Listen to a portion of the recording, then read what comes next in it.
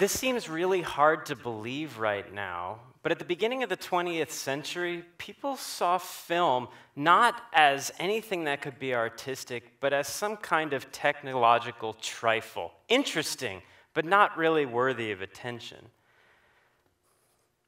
That's why the critic Rudolf Arnheim wrote his essay for the first time, arguing that in fact film was and could be and should be considered an art. In fact, the first new art invented in thousands of years.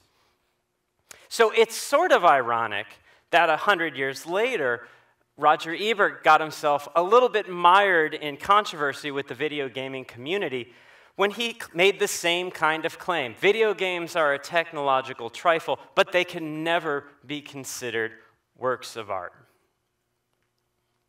So, I'm going to talk a little bit today about how video games, and specifically music in video games, has become an art. But I want to start by comparing the two because video game music works a lot like film music. So, for ex- consider, for example, how if you were a composer, you might score an Indiana Jones film. So here's the tableau Indiana Jones walks into a temple, there's an artifact. The camera is on Indiana Jones, turns, and rests on that artifact. And you can imagine the score swelling up and reaching a climax right at that moment. Well, if you were to score the video game version, the spin off of that movie, you would have another problem because you don't know how long it's going to take for your player to enter and get to the artifact. So, how do you score that moment in exactly the right way? That's really the challenge of writing music for video games. For me, an even more intriguing question is how you could create a video game that is its own musical score. So I'm going to be looking at three examples today of video games that are their own musical score that the players can then perform. Before we do, let me tell you a few terms that we use when we talk about film music. Really important one diegetic and non diegetic. These are music essentially that characters can hear or can't hear. So, a diegetic music is music that's within this game, so the characters can hear it. Non diegetic they can't. So ask yourself do the characters hear the music? And a great example of this the beginning of Harry Potter, when the credits come up, you hear this great orchestral tune. You know the characters of the movie can't hear that. But later on in the same film, when Hagrid plays it on the flute, you know that he can hear it. So that's sort of the difference between these things. So the same things apply when you're listening to or writing video game music. You have diegetic and non diegetic, but you have this interactive element. Can the music change as a result of the game state, or is it always going to be the same? And if it does change, how? So these terms come from Karen Collins. Uh, she wrote the first book on video game music uh, uh, from an academic standpoint, and she was, in fact, our keynote speaker last week. And she divides this dynamic aspect into adaptive audio. So say, for example, you're about to run out of time in Super Mario Brothers, and you hear the music speed up. That's an adaptive change. And then there's interactive music, which has the character performing it in a way. So think Zelda the Ocarina of Time when the titular character plays the titular instrument. You, he, you press buttons on the controller and you see the character play that instrument. I want to start with Guitar Hero just to give a sense of how these things work, and because most people have some familiarity with this game, and it also readily lends itself to discussing music in video games. So, in this game, there is a musical notation. It sort of looks like guitar tablature coming at you at all times. And your job is to realize that uh, using the notation on the screen to interact with the guitar controller that you're holding and then the game tells you either by playing the music or playing scratchy noises whether you've done it right or not. So I'm going to use this standpoint of a way of thinking about it. You've got some visual element that you respond to, and the game either plays the soundtrack as expected or alters it in some way. So here's the first game I'm going to talk about. This is called Bit Trip, Run, Bit Trip Runner. And as you can see, it looks just like a platformer. You've got the character Commander Video, who needs to jump up and collect this piece of gold, but kick through this crystal and step up over this little platform. Otherwise, he gets reset. So it looks like just a standard platformer game, but in fact, the music is incredibly important. Because, as you'll see on this transcription that I've done with the map overlaid on top of it, the obstacles that you have to negotiate get repeated as though they were kind of mo musical motives and fragments. So here in the opening, you get this motive four times in a row. And moreover, when you do it correctly, it's accompanied by a musical motive. So it's conflating the idea of the obstacle and the music. I'm going to play you an entire run through of the level. There's a few things I want you to pay attention to. So I want you to listen for that obstacle motive as it comes back later in the level. I want you to notice the introduction of a new motive, the springboard motive, as it get re gets repeated and then fragmented several times as the game unfolds. So on the top, you'll have the score, and on the bottom, you'll have some footage of the gameplay.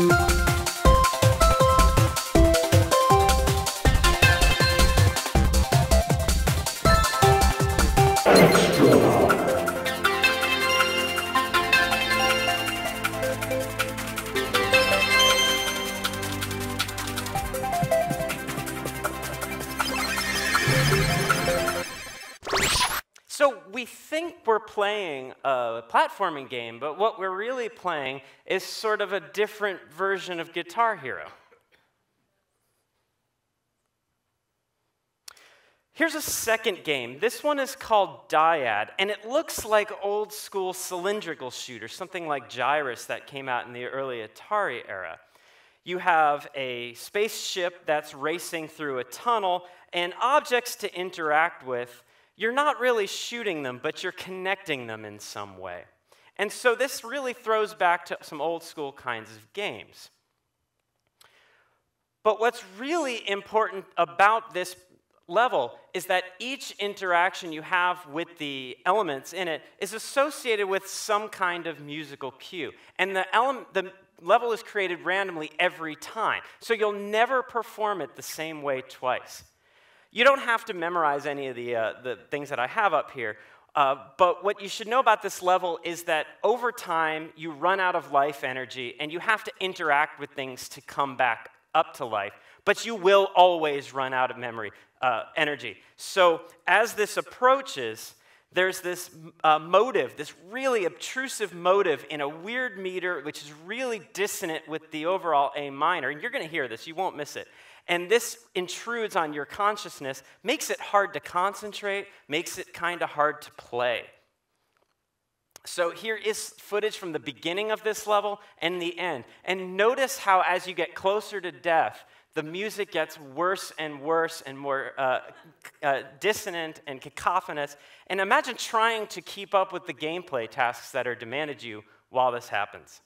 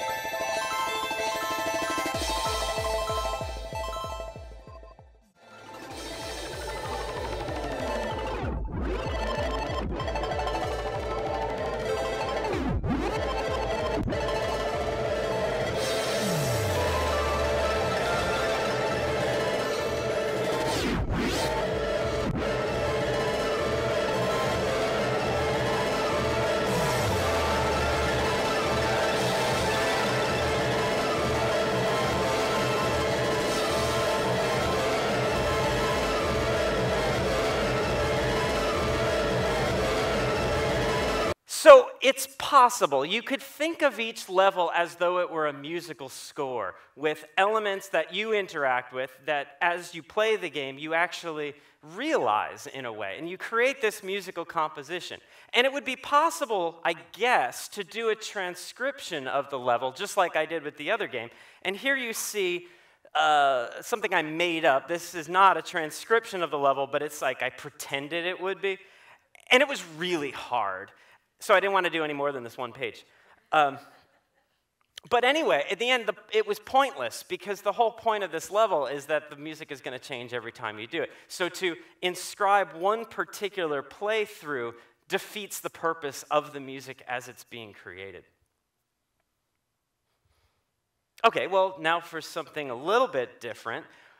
I've looked at two games which claim to be music games. Bit Trip, it has Beat, and Bit Trip Runner. These are, are games with the sounds in them. Dyad is going out of its way to, be, to reinvent the music game.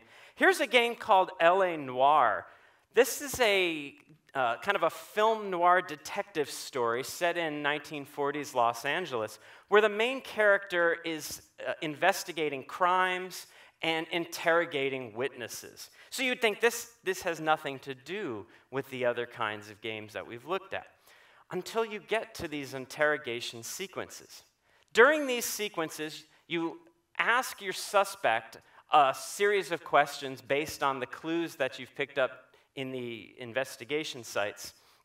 And then you have to determine are they telling the truth? Do you have evidence to demonstrate that they're actually lying? Or are you just going to suspect that they're not telling everything that they know? And so you take this guess, and the game tells you whether you're right or wrong. On the upper left is a piano cue that sounds if you guess correctly. And on the upper right is a, is a cue with some strings that sounds if you guess incorrectly. And the important thing here is that the first two notes are exactly the same.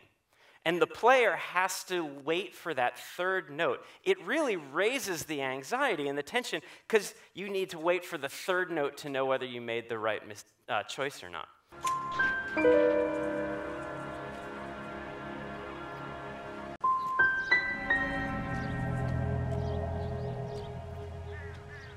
So, what I've done here is I've stripped out all of the speech and just put together the, the music that would happen in the interrogation sequence. So here is a sample interrogation soundtrack. Uh, you're going to be in the investigation site. You'll hear this kind of investigation jazz. And the minute the interrogation begins, it segues into this C sharp major triad, which acts as a drone the whole way through.